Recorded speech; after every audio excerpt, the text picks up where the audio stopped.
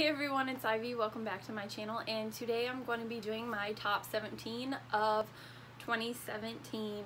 Some of these books actually aren't from 2017. I just happened to read them this year, but they became some of my favorite books, so I really don't care about publication date. It just happens to be I read them this year, so they're making it onto this list. Actually, I'm also pretty sure that I cheated because I'm pretty sure I have 18 books in here. And I did cheat because some of the books are series. Oh well. I should also say that I tried to put these in like the best order from 17 down to 1. And I really don't know how true that is. Just know that I tried. Overall, I just enjoyed all these books. So, But once I get down to like the number one, that was definitely my favorite. So first on this list is Kill the Boy Band by Goldy Moldavisky, and I'm sorry if I didn't pronounce her name right. This book is about this group of girls who are super huge fans of this boy band and they're staying in the same hotel as them and they end up kidnapping one of the band members and I really enjoyed this book. I thought it was thrilling, it was funny. Made it onto this list because even after I read it, I could not stop thinking about it. Even while I was reading other books, I just kept thinking about this one.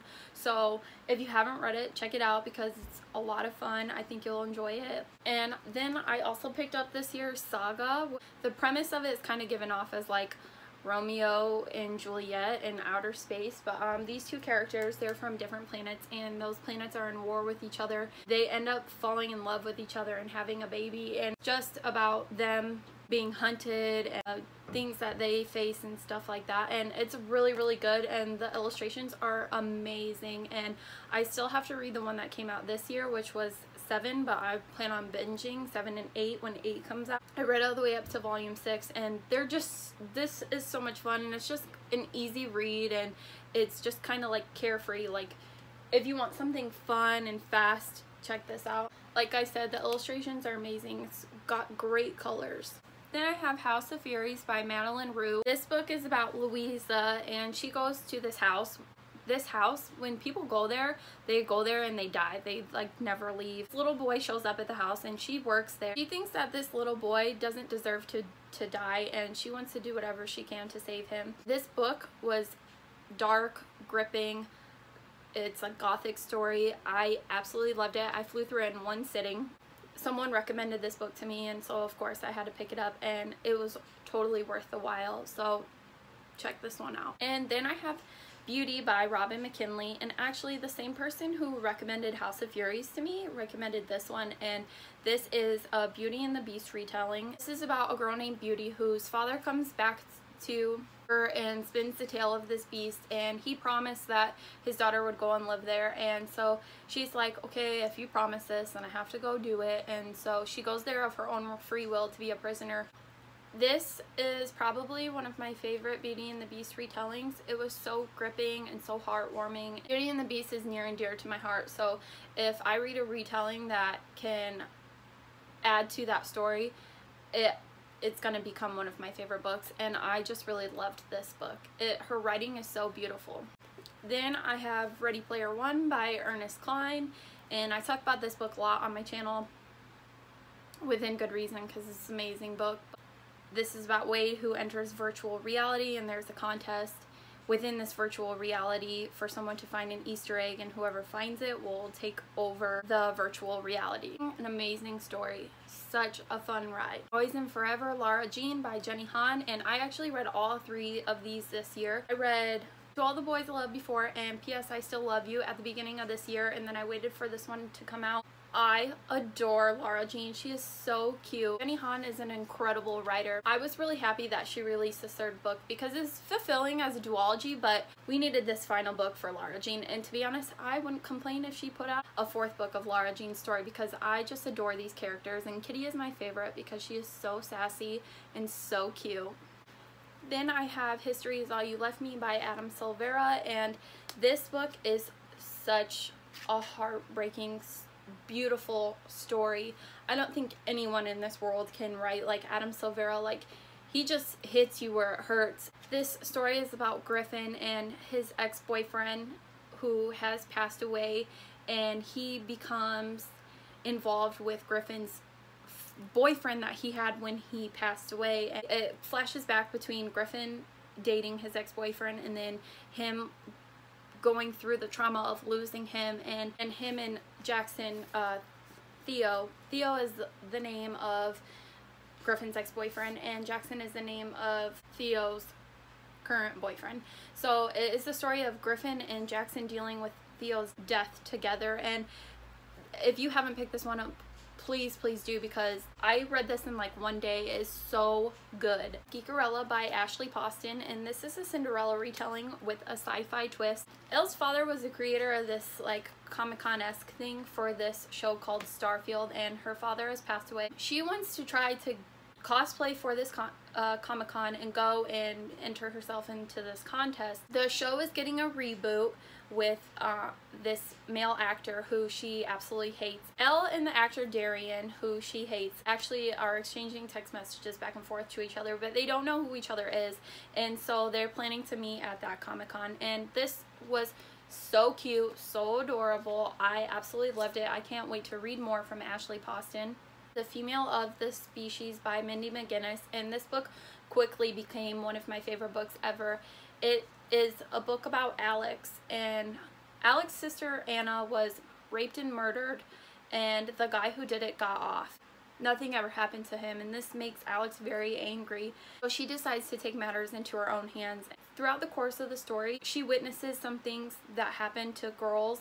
I think this is a really important story because in today's like some people still think that it's okay to say oh boys will be boys or she was asking for it because she was wearing that short skirt and I totally disagree with all those things. It gets people talking about that topic and I think that this should be in the hands of all high schoolers girls and boys because this is going to show boys like that is not okay. Just because a girl is showing her long legs she's not asking to be raped. If a boy does something wrong to a girl and sexually assaults her, it's not okay for someone to say, oh, boys will be boys. No, there should be punishment. No one should be raped. No one should have to feel those feelings or go through that trauma. And this book hits that so hard. And I think everyone should absolutely pick this book up. It is an amazing, an amazing, gripping story. Of The Gentleman's Guide to Vice and Virtue by Mackenzie Lee. And this book, oh my gosh, is so funny, so good. It is historical fiction with paranormal aspects and is about Monty, who is this sassy narrator, his best friend Percy, and then his sister Felicity.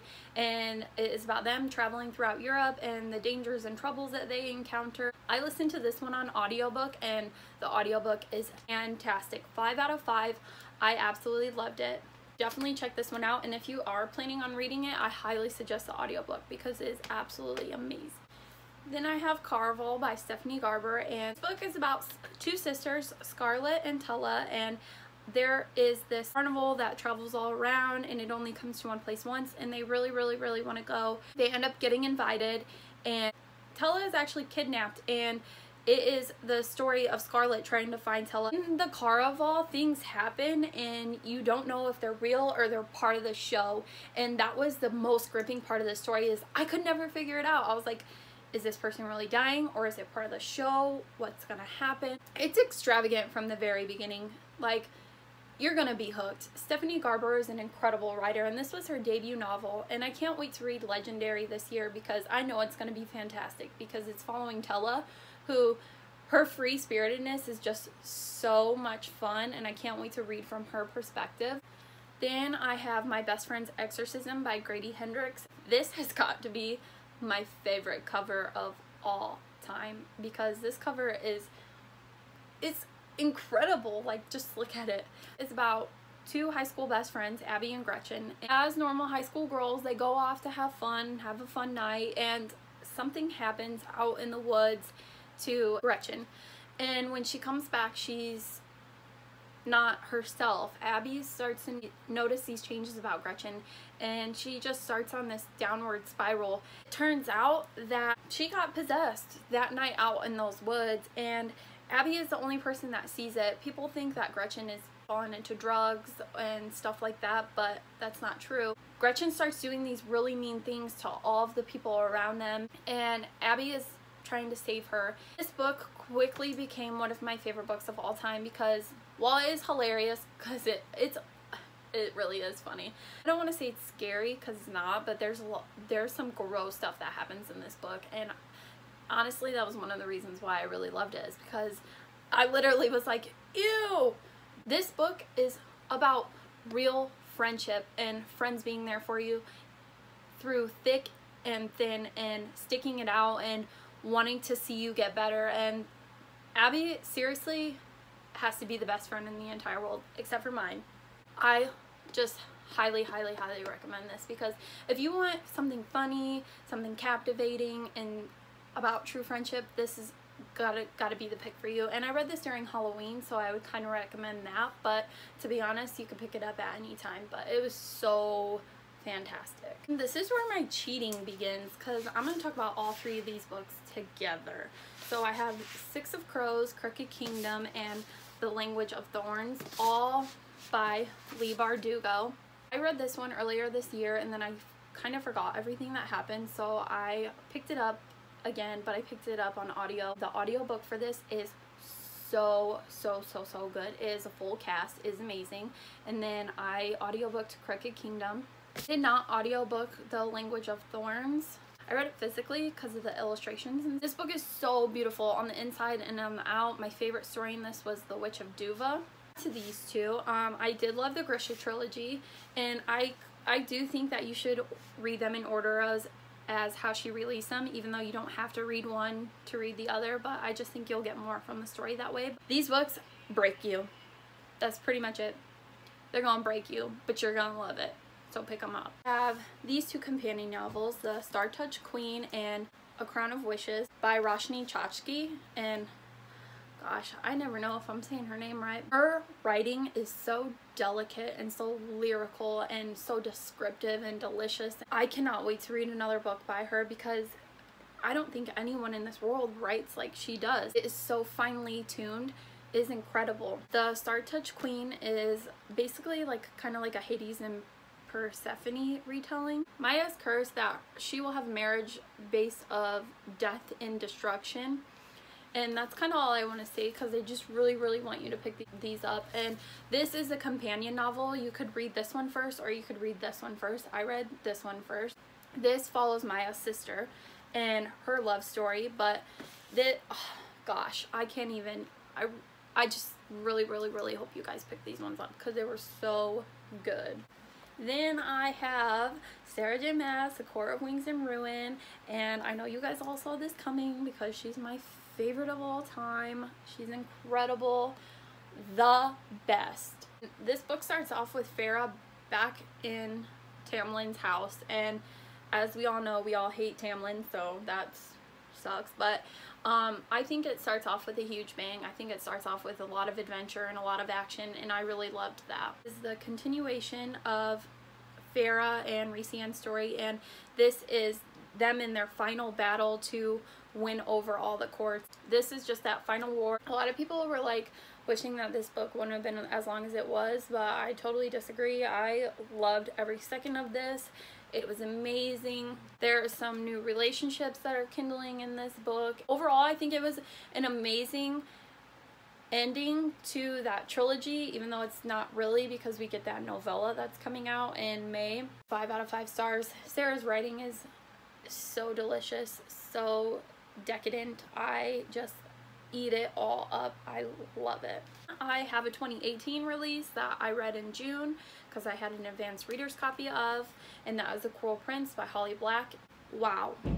I don't even know what to say about this book because it is so incredible. Holly Black, it is true what they say about her. She is the queen of fairy. If you haven't read any of her stuff before, I highly recommend that you do. There's characters from her previous books that we do see show up in this world because it's kind of all the same like land. And while you don't have to read those books in order to read this one, being a longtime fan and seeing them in here was so much fun and it just added so much oomph to the story. And this book is about Jude who is a human girl and uh, a fairy comes over and murders her parents and because he is the father of her half-sister who is half fae and he wants his daughter back. Feeling guilty, he takes Jude, her older sister, and her twin sister back to the fairyland with her and this is about Jude wanting to become as ruthless and reckless as the fairies, and her getting involved with the prince. Jude starts finding some things out about what's going on in this kingdom and she thinks she can be the one to solve it. My number one read for this year, I'm sure if you followed my channel, everybody saw this coming, is Tower of Dawn by Sarah J Maas and this is the companion novel to Empire of Storms. This novel follows Chaol, Yrene, and Nesryn in the southern continent and this is the book we all needed whether you want to admit it or not, we needed this because this ties in so many loose ends and it it's just incredible. And Chaol's healing journey is it's mesmerizing and Yrene is such a strong woman and I just adore her. I already read this book two times this year. That's how incredible it is. It's it's just it's amazing. It's gonna take you on a journey, kind of like if you've read Heir of Fire, it's the same kind of vibes as Heir of Fire, but I feel like there's more information that's dropped on you in this one than Heir of Fire more so, like with within the Valg and stuff like that. But you're introduced to a new kingdom, you're introduced to a new land, so there's a lot of world building in this one, and I really enjoyed that. I think Sarah J. Maas is such a descriptive writer. Chaol's healing journey was incredible, and meeting the new characters and following Nesryn on her new adventure is just, it's amazing. This book was one of the best books that I've ever read. I'm so happy that Sarah wrote it because this is, a, like I said, this is a story that we all needed. Whew, that was a lot. So, as you can tell, I read a lot of great books this year. I loved all of these books. I actually, like I said, I had such a great reading year this year. I read 117 books kind of 118 because I did finish one in January, but I read like 90% of it in December. I got lucky because a lot of them were amazing stories.